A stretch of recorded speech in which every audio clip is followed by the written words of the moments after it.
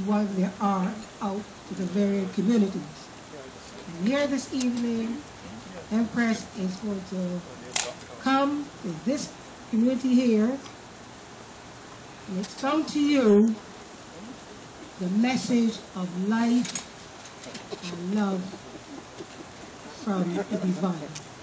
Come on, Empress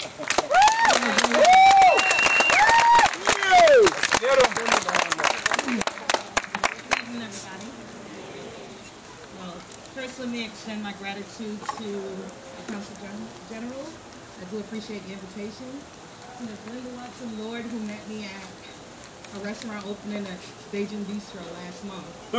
My book was out all of maybe two weeks. And she extended this invitation and read my book and requested pieces, so I do have to honor her request as well. Um, I left Barbados after graduating from the St. Michael School at 16 and moved to New York City and got introduced to open mic. Prior to that, I was introduced to Edward Kamau, Edward Kamau Brathwaite and poets such as that. I came here and I met spoken word. I fell in love over and over and over again, and it's one of my favorite things. I'm a mentor. I am a mother, single of one female child, raised in Brooklyn, New York, so it takes a lot. Um, my first piece is going to be dedicated to her and my little niece over there. it's entitled To My Princess. Oh, wait, before I say that. My book, Impressions of a Poet, is published by Bravin Publishing. It's um, represented by the two owners, KL and Tiffany Belvin.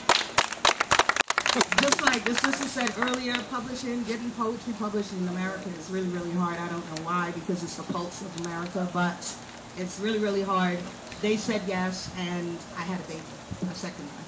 So I hope you enjoy what's in here. This piece is entitled To My Princess.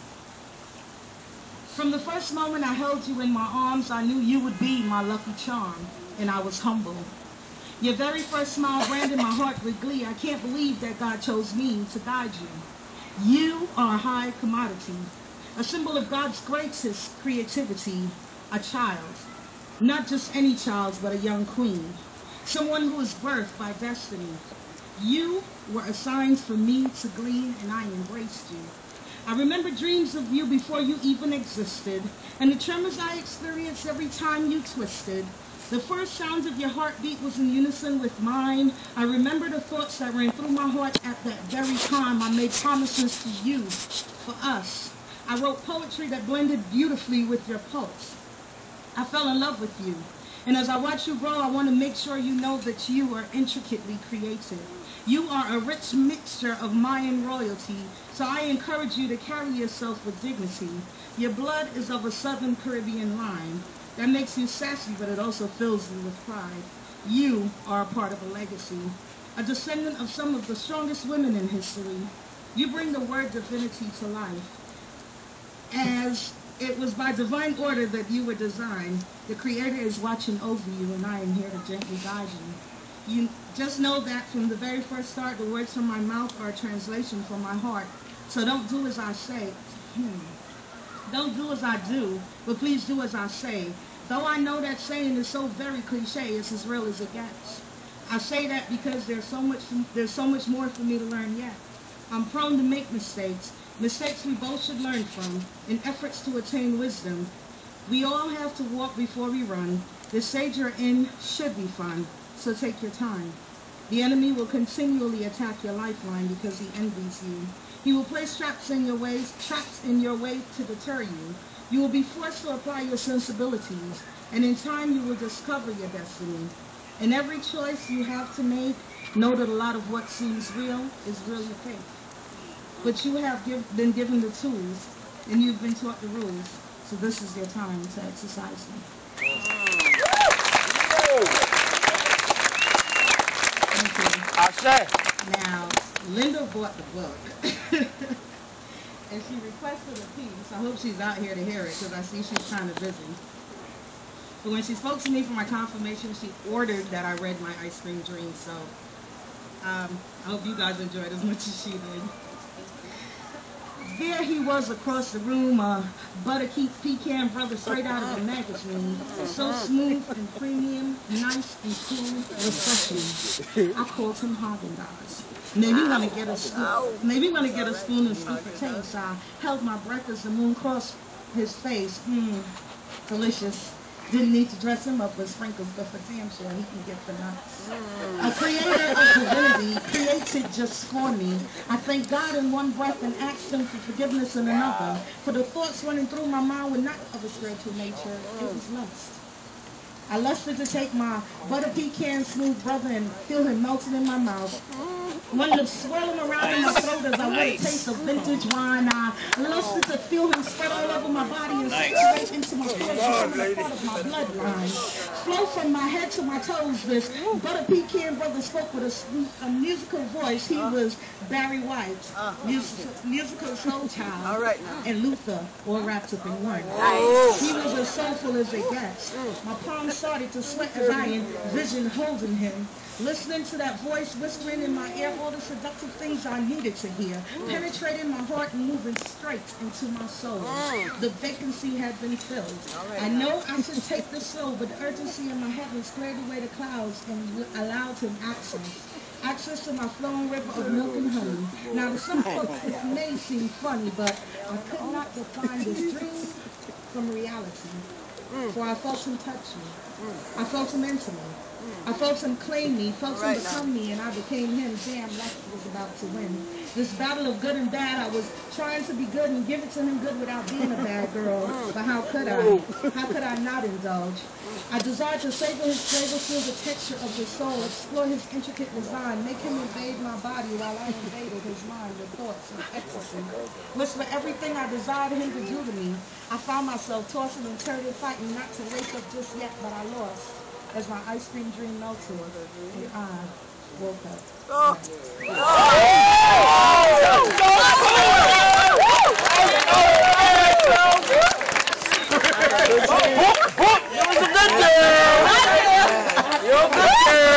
Brooklyn. Those piece is actually my favorite and it surprised me when my daughter texted me and said, "Mommy, after Kevin, maybe you should do that because they all, that's my poetic team over here. And they all forbid me to do this piece, but after, and it's funny because Kevin happens to be my cousin. I just didn't know he behaved like that. so, my daughter requested this piece, and it's entitled Journeys. Uh-oh. Oh! Let's get it. Let's get it. Come on. Really? I sat back last night and reminisced on the first time that we made love. I smiled as those memories flooded my mind and I relived that journey. Oh, I remember. Come I remember looking into your eyes and comparing them to lands of Kemet New. You mm. laid me across a blanket made of brown mudcloth. I reached my arms up and welcomed you to the motherland. You entered that Cairo and made your way to the Sahara Desert where the heat intensified. Even as you created oasis after Get 'em. made Get as wet Get 'em. as the Let's do Amazon it. jungle. Get him. You climbed the high mountains of Kenya and zipped into the Rift Valley. Your body spoke a language as smooth as the French that flows in Sierra Leone.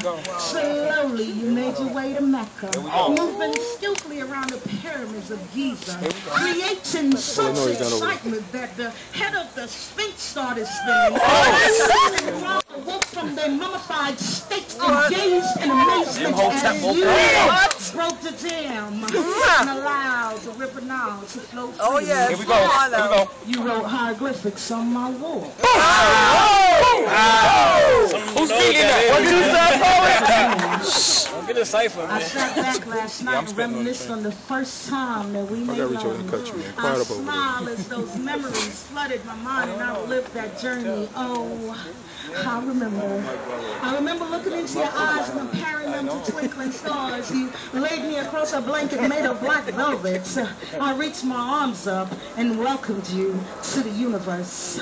You encircled my planet, recreating the rings around Saturn, conjuring delusions as vinces advance of clouds and Uranus. You moved with the ease of the retrograde rotation of Pluto elsewhere. I saw as many as the eight moons on on Neptune when you touched What? my What?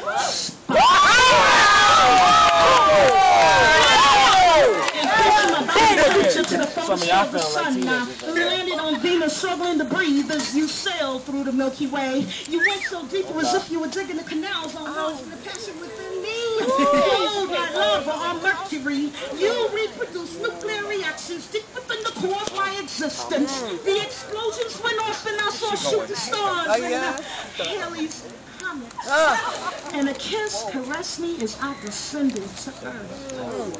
I sat back last night and reminisced on the first time that we made love. I smiled as those memories flooded my mind and I relived that journey. Oh, I remember.